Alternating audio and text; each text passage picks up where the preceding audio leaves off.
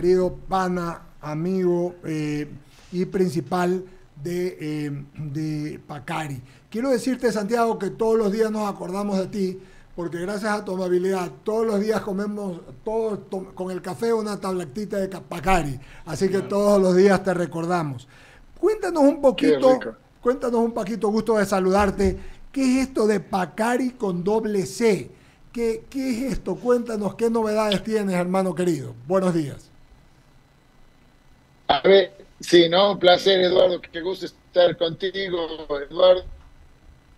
Y ahí en que es uno de los íconos de la, de gente que quiere estar educada y al día.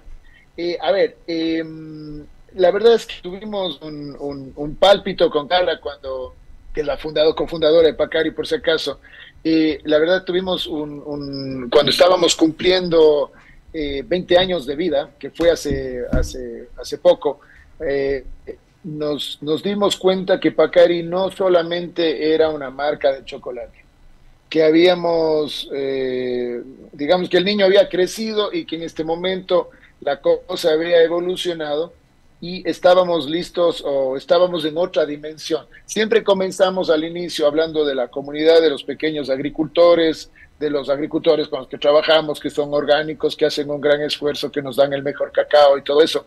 Pero nos dimos cuenta que ya con Pacari habíamos pasado la barrera de solamente hablar de la comunidad de pequeños agricultores, sino que en estos 20 años se había creado una comunidad de consumidores conscientes. Eh, y obviamente, obviamente estos consumidores conscientes eh, son ellos los que al entender el proyecto, al entender el chocolate, al entender que hay agricultores y que todo esto es un círculo virtuoso, eh, son los que generan que, el, que realmente la marca exista. Si, si, si los compradores no, no preferirían Pacari a otras marcas y de alguna forma es como ganar las elecciones, ¿no? Eh, las, los, que, los que hacen que esta marca exista son todos los ecuatorianos que compran, los que llevan, los regalan, etcétera, etcétera. Entonces decidimos, ya que la comunidad es tan importante y eso hace que la marca realmente genere este círculo virtuoso, tenemos que ponerlos en la marca. Esto era absolutamente anti, anti escuela. Todo el mundo dice que no puedes hacer eso, que cómo puede ser, no puedes tocar la marca, la marca es casi sagrada. Eh, y, dije, no, las, las cosas, eh, las marcas, las personas, eh, las empresas deben estar sujetas a cambio. Heráclito decía que nadie se baña dos veces en el mismo río. Y, y así es, la constante es el cambio. Entonces dijimos, no, claro que podemos ser los primeros en dejarnos de, cosas y cambiar. Y si falta alguien tan importante como nuestros consumidores en nuestra marca, tenemos que hacer este cambio. Entonces decidimos pasar de un, de un Pacari con fe, que era el, el, inicial, digamos, a este Pacari que tiene dos Cs, no sé si tú lo notas. Lo veo perfecto, Antes solamente tenía... Sí. Exacto. Eh, el tema era ese.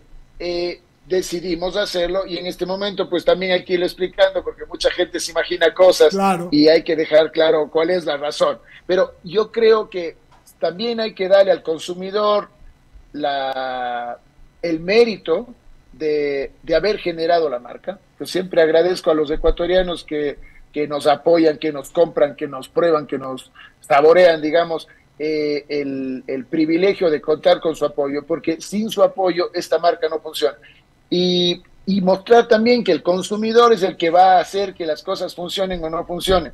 Si el consumidor está apoyando marcas que apoyan a la esclavitud o, hacen daños eh, a la naturaleza, nosotros mismos le estamos dando el power, le estamos dando el dinero y el poder para que lo hagan. y por otro lado, pues eh, le, estamos, digamos, incentivando a que hagan eso. Entonces, sí creo que los consumidores, si, si prefieren ustedes marcas conscientes, marcas eh, que quieren realmente un cambio positivo en la sociedad, en el medio ambiente y demás, que tan, importantes son, eh, Así es que era importante ponerles, y creo que es la primera marca que... Santiago, se te cortó el internet, a ver si, si lo recuperamos porque está de lo más interesante y estaba saliendo muy bien. Conversando con Santiago, eh, él es el principal de, Pacari, eh, querido amigo, y, pues tiene, tiene esa empresa que en todo el mundo, que en todo el mundo es, es conocida, porque realmente cuando uno viaja, todos los que hemos tenido oportunidad, Santiago Peralta, de, de viajar, la vemos. Entonces, vamos a ver si podemos nuevamente coger, eh, eh, tomar la señal, me, avisa Giancarlo, si la tenemos, ¿no? Entonces, eh, realmente está comentando, Santiago Peralta, que le ha puesto, ¿verdad? Pues el pacari que, tú que comemos todas las mañanas tiene una C, ahora tiene, ahí está Santiago, ahora sí, retomamos la señal. Perfecto, retomamos la señal. No sé qué pasó, más la conexión, perdonen ustedes. con una C, ahora anda con dos. Anda, ah, sí, muy buena, era con una, ahora con dos. Seis. Sí. Se volvió a quedar, creo. Ahí está. Sí, ahí estamos, Santiago. Perdón, así es intermitente. Pero bueno, aquí estamos. Perdón, esto hay que. No voy a decir cuál es el nombre de la. De la, del proveedor. De la empresa que nos proporciona el internet acá. Sí. Bueno, decía. no creo que. Entonces, Eduardo, no, sé si, si, fui claro hasta cuándo, hasta cuándo me, escuchaste, pero eh, yo creo mucho en la capacidad de las personas de tomar decisiones y todo el mundo está un, poco jugamos a ser estos estos eh, observadores, digamos, eh, estos alguien que está viendo solamente el juego y no somos los actores. Y creo que eso es un gran error. Siempre estamos espera de que los políticos cambien algo, de que el prefecto, es que el alcalde, es que el presidente, el que el ministro no ha hecho eso. Y nadie se da cuenta eh, de la real capacidad que como consumidores, como ecuatorianos, podemos cambiar las cosas en este país. Eh, yo decía, por ejemplo, si nos hubiese dado la gana, pudiéramos haber ahorrado energía todos, dejar solamente un poco prendido en la, en la casa y no teníamos apagón. Y le dijimos, no, que haga eso el gobierno, que ellos vean cómo hacen, a ver si, eh, no sé, hacen la danza de la lluvia y hacen que llueva en Cuenca, qué sé yo. Entonces, creo yo que sí podemos ser capaces. Eh, en este momento, te hablo así muy francamente y perdón que haga la, la, digresión, yo estoy utilizando eh, solamente, veo que el, el, gobierno se gasta, no sé qué, creo que 600, 800 millones de dólares en gas, que mucho va al Perú y subsidiamos a otros países eh, pues decidí eh, comprar una olla de presión. Es lo que puedo hacer por mi país. Eh, aquí en la sierra se evapora muy rápido el agua, así es que no llega a calentar tanto como en la costa, pero si todos utilizáramos olla de presión, no necesitaríamos subsidiar al gas. nos ahorraríamos 300 millones de dólares al año. creo que depende mucho de nosotros. A mí mi historia es la industria chocolatera del Ecuador no va a salir si es que todos están comprando chocolate eh, donde, que deja el valor agregado en Suiza o en, los Estados Unidos, donde fuese, en un país que no necesita dinero, y no apoyamos a nuestros propios agricultores. Eh, apoyando la esclavitud en África en vez de apoyar a los 600 mil personas que trabajan acá. El consumidor consciente es vital y esta sea adicional va por ellos. Eh, creo que todos somos parte del problema o de la solución. Eh, yo decidí ser parte de la solución y creo que si todos decidimos hacer eso, este país realmente pudiese cambiar muchísimo. Eh, perdón, pongo un caso, un ejemplo un poco tonto. Por favor. Eh, cada vez que tú compras algo chino, eh, tal vez de en vez de comprar algo hecho en Ecuador, te estás, estás dando plata a la China, no te, no te asustes después si te vienen a dar un préstamo, porque tú mismo le diste la plata. Claro. Y después no te molestes que alguien te robó el celular porque tú mismo le quitaste el empleo. Y se dan cuenta que somos parte de una sociedad, que somos parte de, somos vasos comunicantes. Entonces, yo sí no culpo porque eso no, no, no, no, no quiero entrar por culpa, quiero entrar por orgullo, por amor, por cariño que tenemos a nuestro Ecuador y que todos somos parte de él. Eh, así es que sí, todos somos los, los consumidores conscientes y los ciudadanos conscientes que pueden cambiar este país. Parece un granito de arena, pero tú eres el que le das de trabajo. Si generamos que esa plata fluya acá. Tú eres el que viaja dentro de Ecuador, deja su plata acá, si no te vas a Miami, la dejas afuera. ¿Qué querías? Si dejas la plata acá, haces que la gente, eh, pues que el señor del hotel gane plata, que el señor que trabaja en el hotel gane plata, que el señor que cuida el hotel gane plata, que el señor que trabaja en la restauración y te da de comer en el hotel y el señor que pescó. Todo ese círculo virtuoso que necesitamos ahora más que nunca, más que nada que ahora después de tener estas estos, creo, grandes éxitos desde el punto de vista de seguridad, tenemos que hacer que el país vuelva a salir en paz, a ejercer esa libertad de, de, salir a la calle, de disfrutar, de tomarse un helado en la calle, de, de ver con gente, de reírse, encontrarse con amigos, sentarse en el parque. Eh, creo que son por ahí las cosas. Entonces, esta sed del consumidor consciente, no sé si te das cuenta, viene de una reflexión profunda de lo que todos podemos hacer por este país. Perfecto, eh, me, me, parece muy inteligente. Y te paso a Daniel Solórzano, te va a preguntar Jaime Velázquez, no sé, Luisa salió un ratito y luego al final regresó yo. Gracias, director. Eh, Santiago, justamente me has me ha respondido, porque Pacari significa en quechua naturaleza, y entiendo la, eh, el génesis de, de, todo este, de, este, de este mood que creó en el 2002 Pacari, que es justamente aprovecharse de, de los frutos de la naturaleza, darle ese eh, valor agregado nacional, variarlo con distintas, distintos sabores a un chocolate que es auténticamente ecuatoriano, ¿verdad? Entonces, eh, ahora cuando tú me dices que la doble C tiene este significado, me gusta. ¿Cómo lo van a promocionar? Porque la gente va a decir, eh, le agregaste una C, mm, suena igual. O, le vas a decir Pachari ahora. ¿Cómo le lees? ¿Cómo lees? Se va a llamar Pachari. No, no, no, ha cambiado en nada. Es un tema, yo digo que es un tema, siempre es un tema formal, pero, pero sí quiero darle profundidad. Creo que Pacari lo que busca es dar profundidad a todo, a todo esto. Eh, no sé, el, el, el, hecho de haber hecho el primer chocolate con hierba luisa sí, buenísimo. Eh, de lemongrass, digamos, que, representa a 4 mil millones de personas, eh, parece sí, ¿no? Es telúrico, es enorme el, cambio. Entonces, estos cambios eh, son, son, son pequeños, parecen formales, pero son muy profundos. yo siempre, ahora nos toca, obviamente, exponer este tema, lo hemos estado haciendo eh, tímidamente eh, durante un tiempo, pero, pero sí creo que hay que hacer con más, hacerlo con más fuerza. Eh, yo creo que los ecuatorianos en este momento estamos entendiendo nuestra, nuestro propio valor.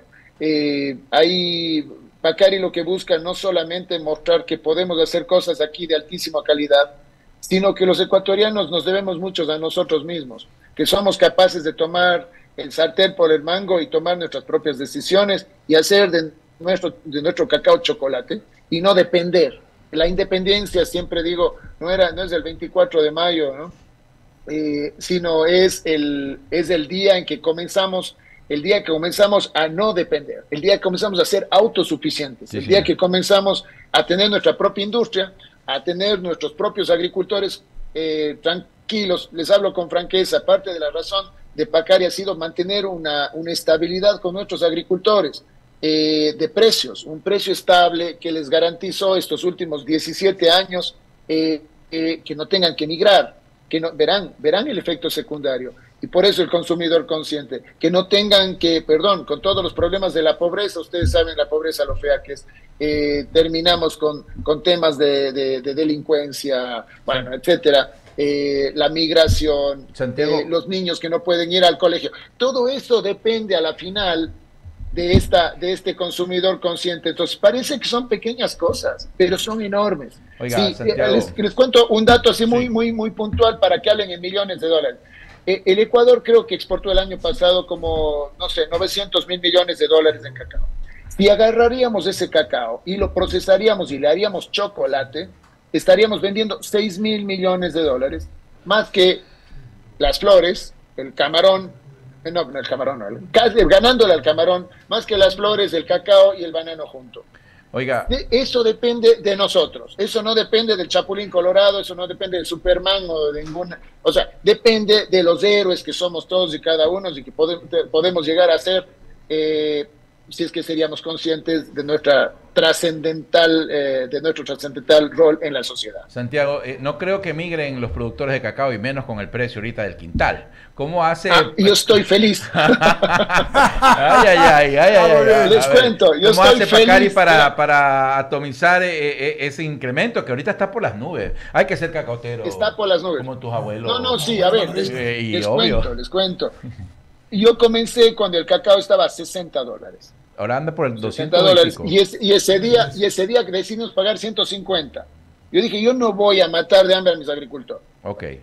Yo no soy el, suizo descorazonado que no entiende, compra a alguien en, en Alemania. Estos son mi gente. Entonces, yo sí vi que eso teníamos que hacer. Pero bueno, volviendo a la realidad actual, hay un disparo en el precio del cacao increíble. Está en más de 6 mil la tonelada, que es, eh, a ver, hace, al inicio del año pasado, hace un año, creo que estaba en mil en 1500. O sea, se multiplicado por cuatro el precio. Sí, señor. Está de locura. Sí. Pero de absoluta locura. Bueno, a nosotros no nos queda más que subir el precio. Perdonen, pero con estos precios no podemos mantener el precio de antes. Así es que si pueden ir al súper, vayan a comprarlo hoy porque va a subir antes que Bien que nos dice, bien que nos dice. Eh, pero les cuento que yo tengo una gran, profunda felicidad al respecto. Yo siempre dije que el cacao estaba subvaluado eh, hay una razón de, fondo también al respecto. Al parecer hubo un gran eh, calentamiento global, cambio climático, chicos, que vivo predicando y por eso no hacemos nada con leche, porque 60%, del 60 de los gases de efecto invernadero viene de las vacas. Yo no he querido, pero decirles, por culpa de eso, de, ese tema, no hay una sequía tan grande en, la parte, de, digamos, de producción más grande del cacao del mundo, que es eh, la parte este de África eh, que prácticamente el 35% del cacao no apareció este año.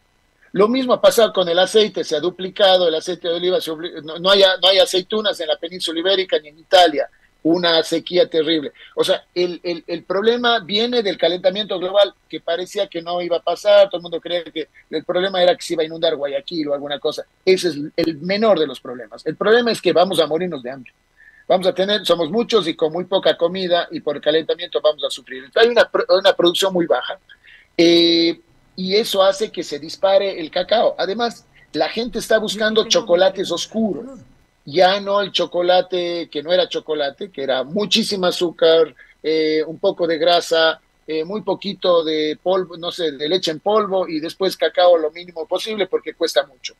Entonces, el, en este momento, la gente está comiendo chocolates de 60% para arriba.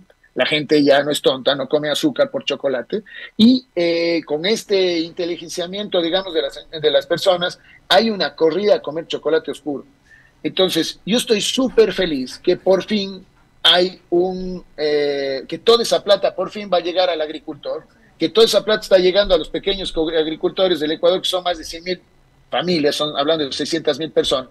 Yo, estoy, eh, yo soy el único chocolatero que está feliz porque hemos peleado para que el precio del cacao esté más arriba eh, los últimos, eh, no sé, 17 años. Así es que estoy feliz de que eso pase.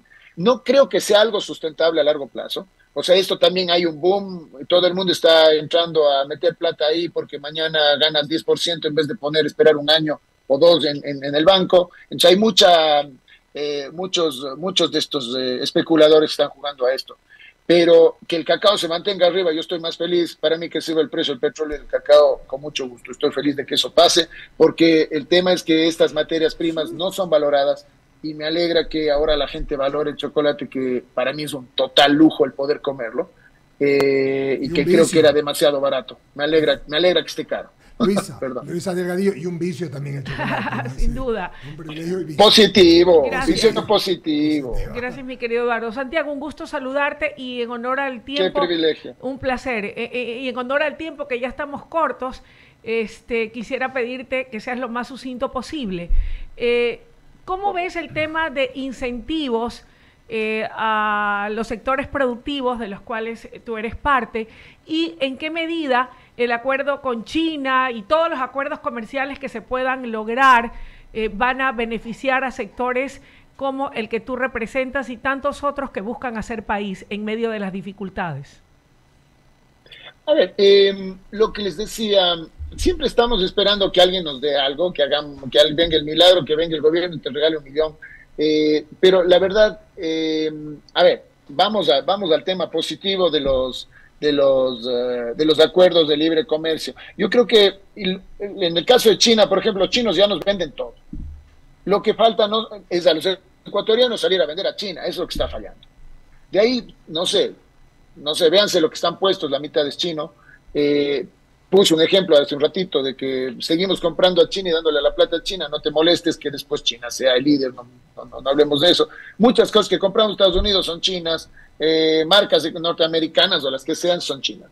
Así es que yo, yo propongo mucho el tema de que eh, compremos lo nuestro, hagamos algo de patria en ese sentido.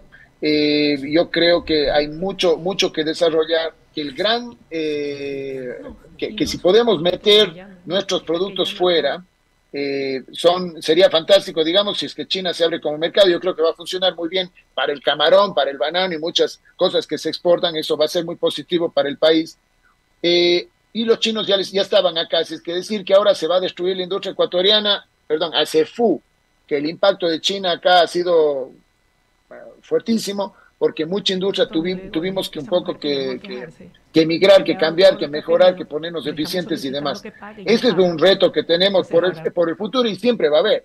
Ahora, eh, que tengamos nosotros siempre el tema del incentivo, eh, yo le veo el, el, Tratado de Libre Comercio como un gran incentivo, también el de Costa Rica, etcétera, etcétera, los que se den son incentivos muy buenos para que podamos seguir exportando, porque de eso vienen los dólares que mantienen la dolarización, entre más cosas, y dan empleo y todo lo que estoy contando.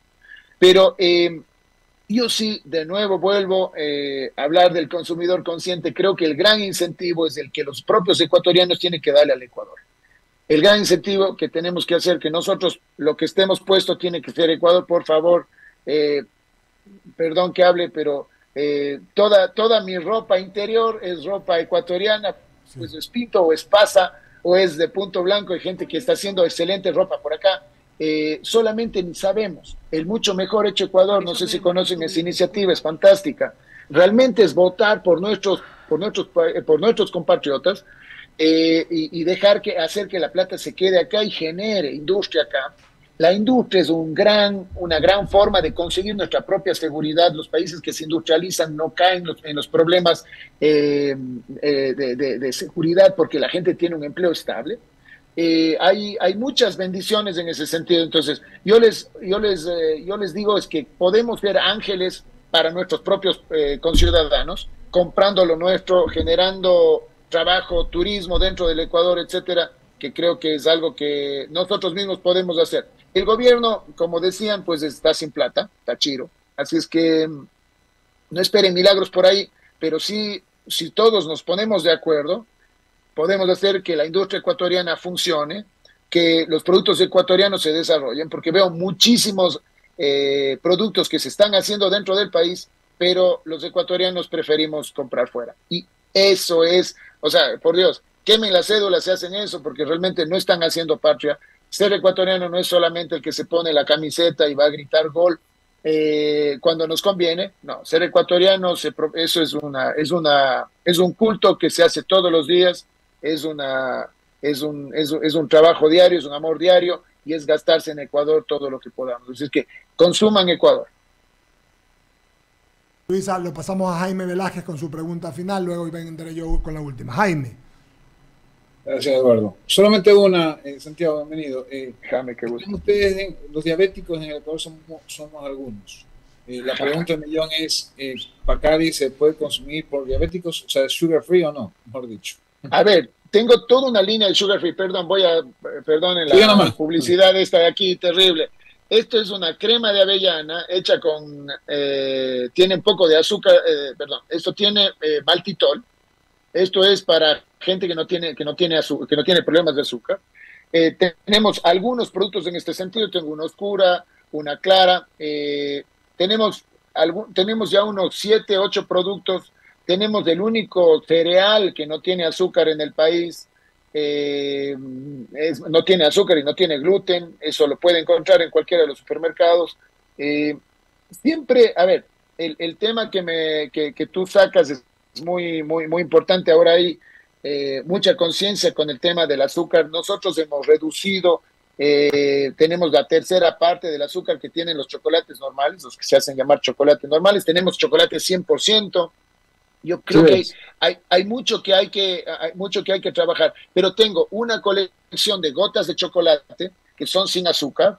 Eh, no son no, no, no, no, no hemos publicitado mucho este tema, Eh, la crema de avellana, como te mostré, tengo una barra de esmeraldas, una de, de, lo, de, de maracuyá sin azúcar, que están en los supermercados. Eh, obviamente el, el, nicho sin azúcar es un nicho menor, no nos ponen, no es que tenemos un espacio ahí como la gente no, no, no lo sabe, eh, no, no lo busca, pero mi sugerencia en general es, si pueden comprar chocolates de un porcentaje alto de cacao, nosotros tenemos hasta el 100% que obviamente no tiene azúcar. Tengo un 85% que tiene azúcar de coco. Eh, el azúcar de coco tiene la tercera parte del índice glucímico y esto lo tenemos ya 10 años. Eh, mejor dicho, sería como comerse un 95 para que ingieras menos azúcar. Entonces, sí, el tema de, del, tenemos muchas alternativas. Tenemos helado sin azúcar que está de locura. Espero Dios mediante poderles dar una buena noticia para que ustedes puedan ir a comer nuestro helado por allá en Guayaquil, que nos piden mucha gente por allá. Eh, pero tenemos helados sin azúcar, tenemos tres helados sin azúcar, así es que el, tema sin azúcar es algo que vino, que se va a quedar, y el cual Pacari también le está apostando, y quieran o no, aunque el chocolate considera que tiene, que tiene, que tiene mucho azúcar, la verdad es que lo que se ingiere de azúcar es mucho menor a cuando comes un chocolate normal de leche. Así es que estamos en ese mismo camino peleando para que eso funcione. Em, y, bueno, sí, la verdad, nuestro error es no haber sido publicitar dotado tanto como, como deberíamos. Pero sí, estamos en esa línea, Jaime. Gracias, muy amable, Santiago. Adelante, Eduardo. Mi querido Santiago, agradecerte. Me encantó toda la entrevista. La última parte, eh, yo pienso que tenemos que volverla a hacer, de pronto invitando también a alguna persona que tenga, que sepa de nutrición, porque todo lo que dices que tienes eh, cereales sin gluten y sin azúcar. Yo sé lo de los chocolates porque en casa las personas que sufren de presión o de diabetes o de algún tema, como los chocolates tuyos no tienen azúcar, son orgánicos, son extraordinarios. Pero lo que dijiste de las gotas de chocolate, lo que comentaste, todo al final es extraordinario. Lo vamos a subir en las redes. Te mando un abrazo fuerte. Viva Pacari con doble C. Si ya tenías una, ahora tienes dos. Cuidado, te va a dar palo en casa la señora, nada más por tener una no, con dos. ustedes tienen dos nueves y nadie se queja. Yo no ah, sé no puedo tener dos. Muy bueno, los dos tenemos. Pues. Te mando un abrazo, hermano querido. Santiago. Un placer, gracias a ustedes. Gusto de saludar. Luisa Jaime, nos despedimos. Hasta el mediodía, seguimos.